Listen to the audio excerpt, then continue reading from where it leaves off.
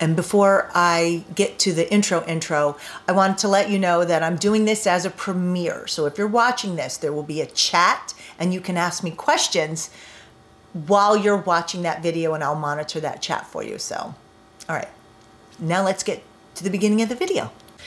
Good morning, everyone.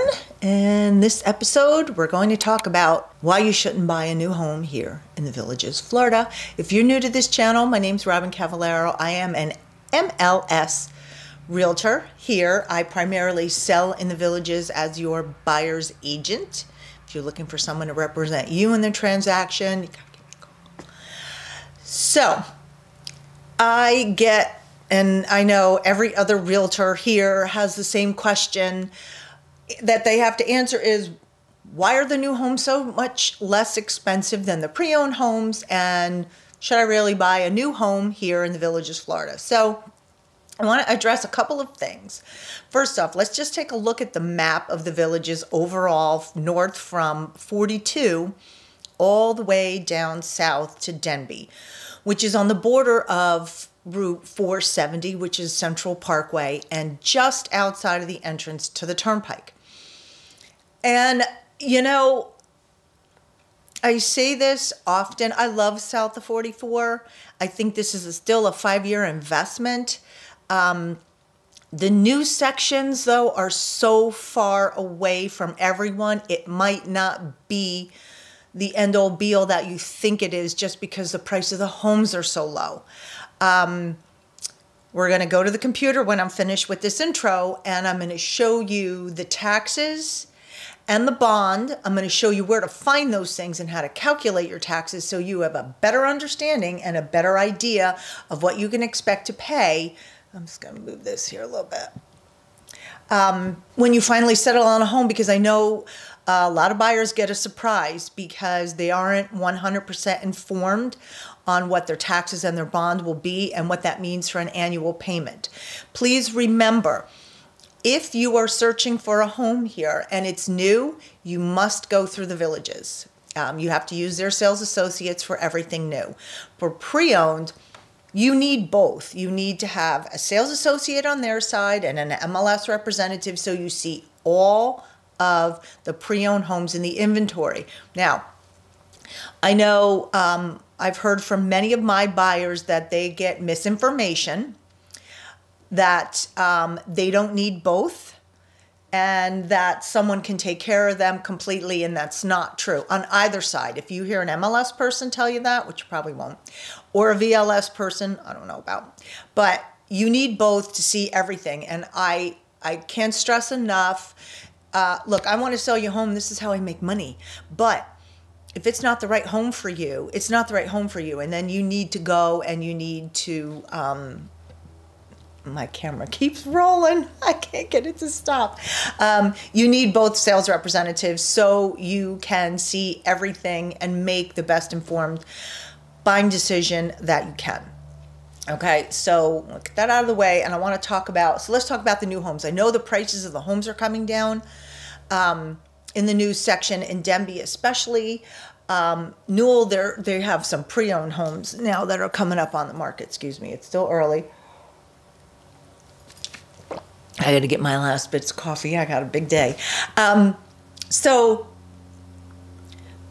no matter what, when you purchase a new home, you're more than likely going to make some type of upgrades. So, and what I mean by that is, and this happens all the time, it's the village's way. You purchase the home, the contractors start coming in, even with the new ones, because you're going to walk in and I don't like that ugly countertop. I don't like that cheap drop in stainless steel sink. I, um, I want closet organizers. So if you go in and say, I love this house just the way it is, just figure you're going to spend 10000 doing something, probably landscaping, and I'm going through this because sometimes a pre-owned home might be really good for you. You just don't realize it because you get so hung up on, oh, this home is only three hundred and this is only two sixty. But in the end, it may end up costing you more money. Only you know what fits for you. Now, a new home might be the right answer for you. You know, I, I don't know, but I've had people stay down there, and I'm just I'm I know the whole topic is don't buy a new home, but really I want to make sure everybody has the correct information. Um, if you're looking to be close to all the activities and you want to be near, oh my God, this is driving me insane. uh, if you want to be near golf and all of the activities, north of 44 is probably a better option for you because you're going to be too far south.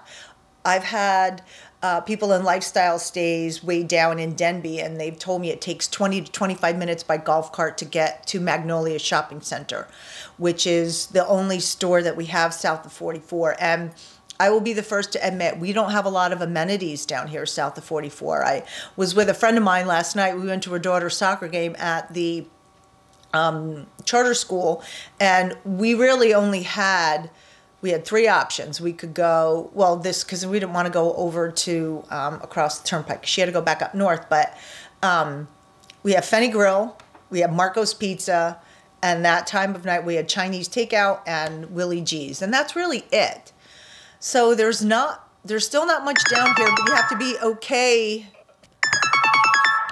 with that. I gotta take this. Yay! We got a contract. All right, I had to take that call because we got a contract. All right, so I kind of don't remember where I was now. We're talking about the new homes.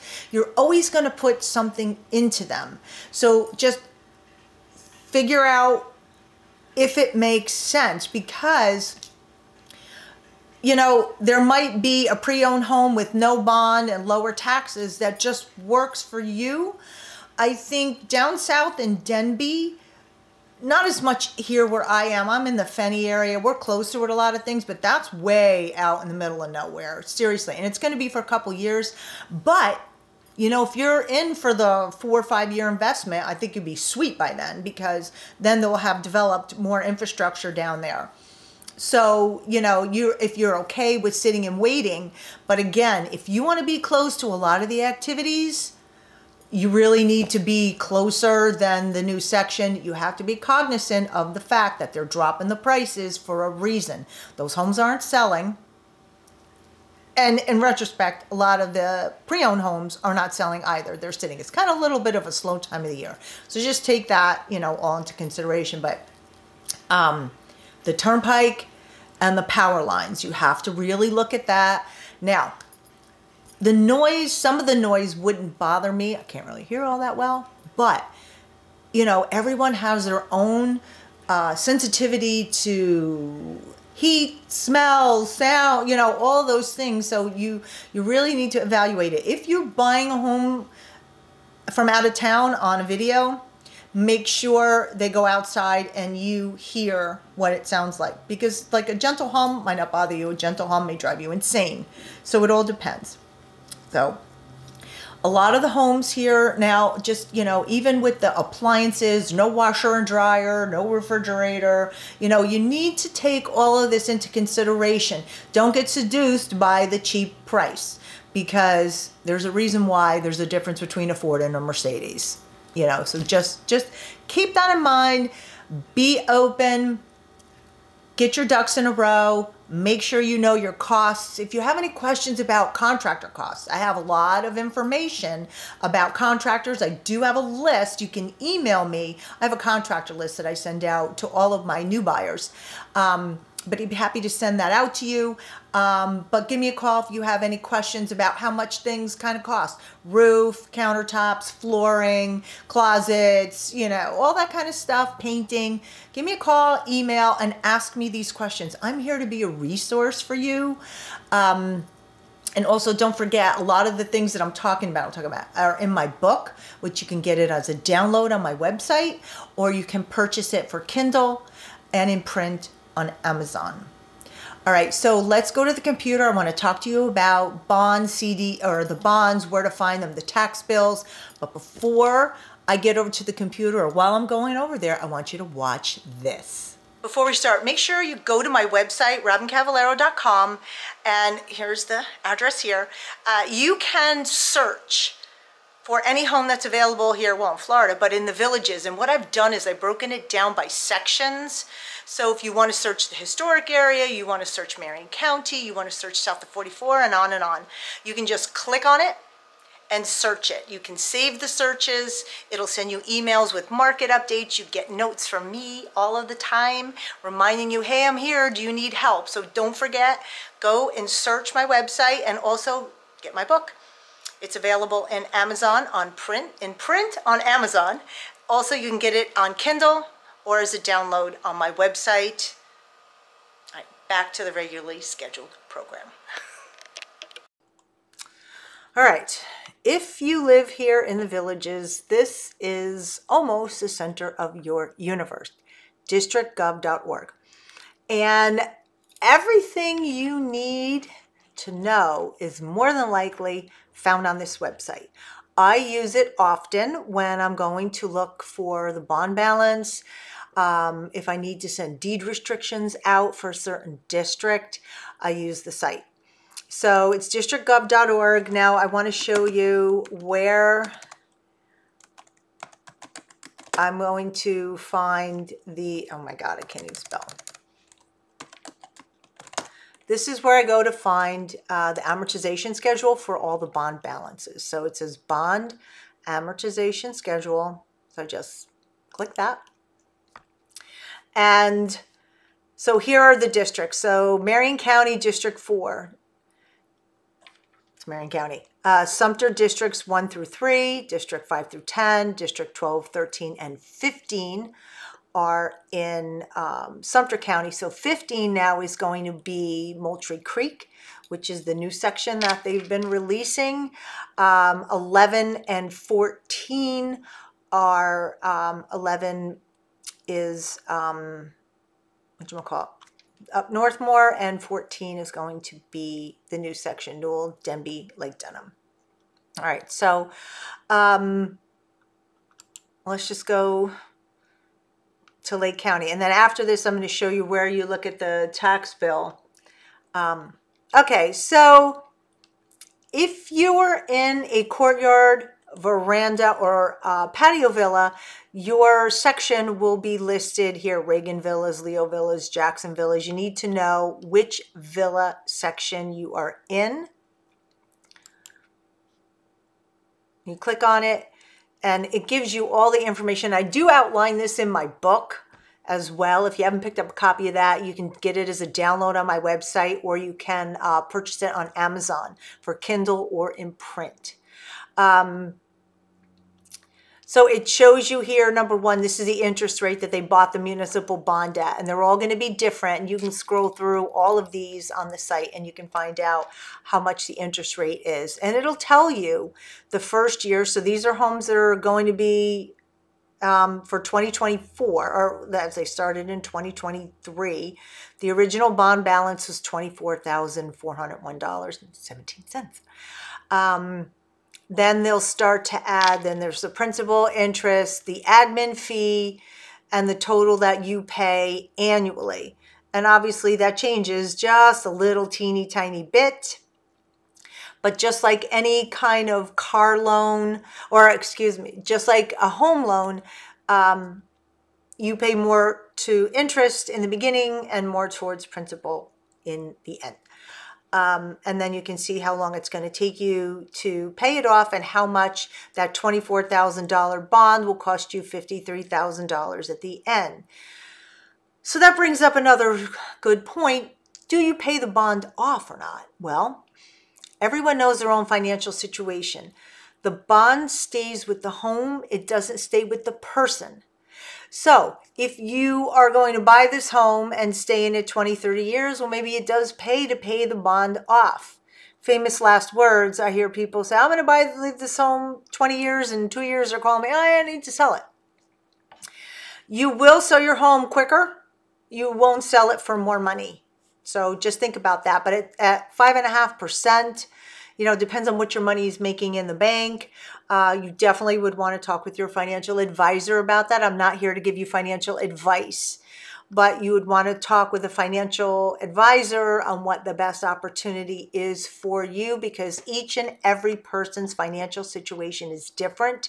So whether you should pay the bond off or not is all I as a real estate professional I'm going to tell you that a homeowner may have a different perspective because when you watch all the videos everyone has great information and a lot of it is from their own perspective.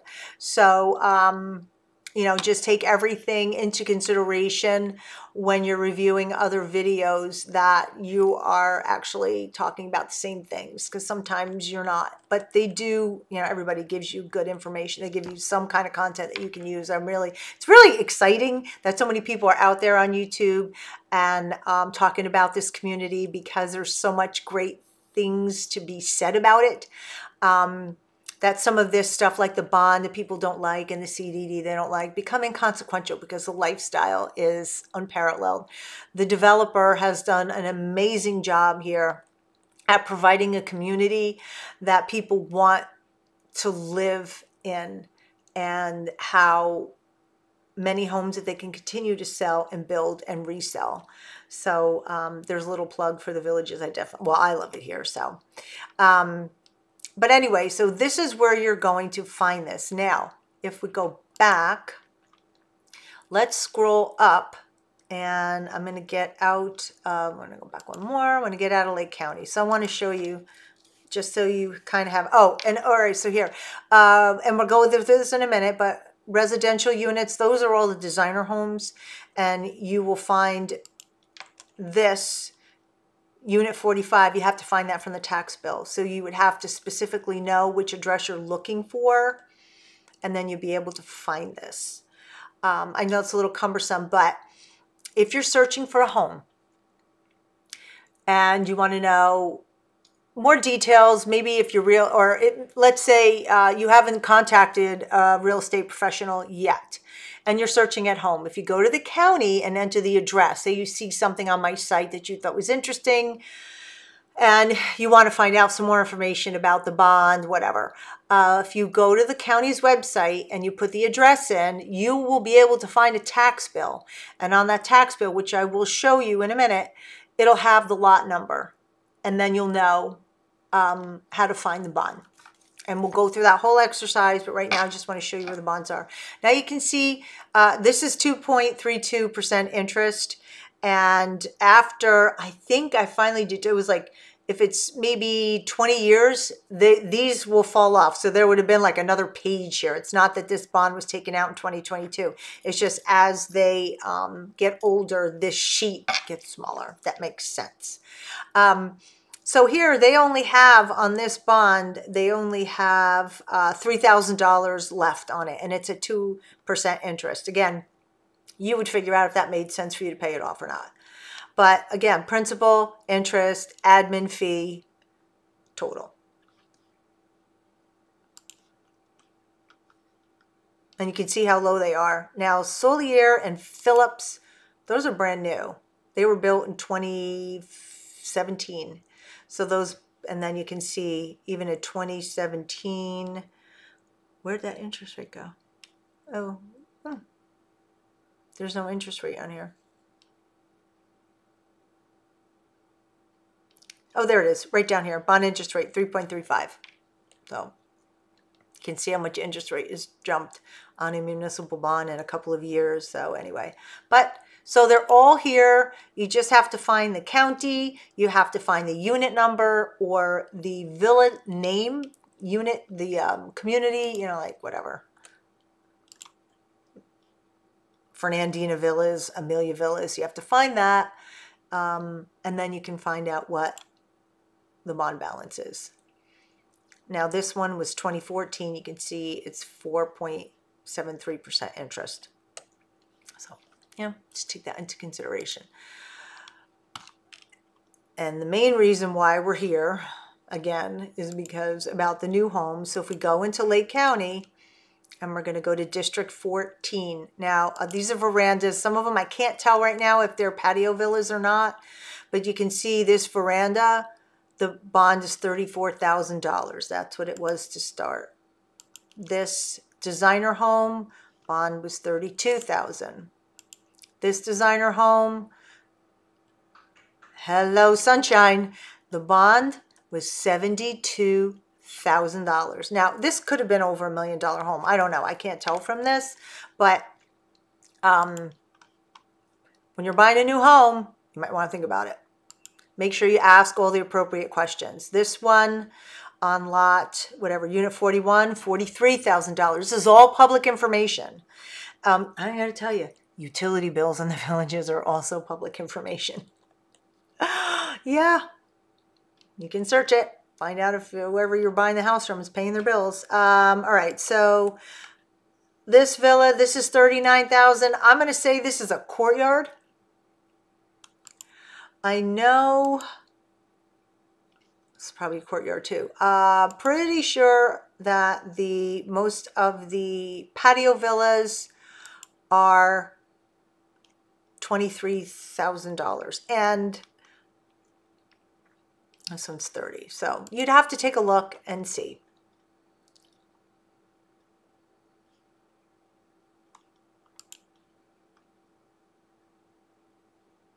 $41,000. All right, so here, we're going to do this exercise here. I'm going to get onto uh, Lake County's website and I'll be right back. All right, so um, it's Lake County Property Appraiser's Office and up here, and I'll put the, here's the address, I'll put it in the bottom. So now when you go to this site, here's the tax um, estimator. Put in the purchase price. And if, if it's a new home, just go, obviously you have to go on the full purchase price. So let's just say 400,000. The average price of homes here, are 400,000. Is it homestead exempted? Well, is that um, your primary residence? You can claim homestead exemption. Now here's where you need to know where you are. So property location, we do have Lake County Fruitland Park, and that's north of 44 over in the, it's uh, west or east of Morse over past that Belglade section there. That's the Fruitland Park section. There is a section of Lady Lake, which is the historic district, and that Delmar section, which is west of Morse, and that is just south of Spanish Springs. And then we have Leesburg, and that's where all the new building is in Newell, Lake Denham, and Denby. So this purchase price of 400000 with a homestead exemption, you could expect your property tax would be $5,300. Now, if we go to, um, let's just take this villa, you're going to add $1,700, 750 or $1,757 onto that. Now we're at the Newell Veranda Homes. You're going to add 2500 onto that. So, and if that's if the veranda costs 400,000.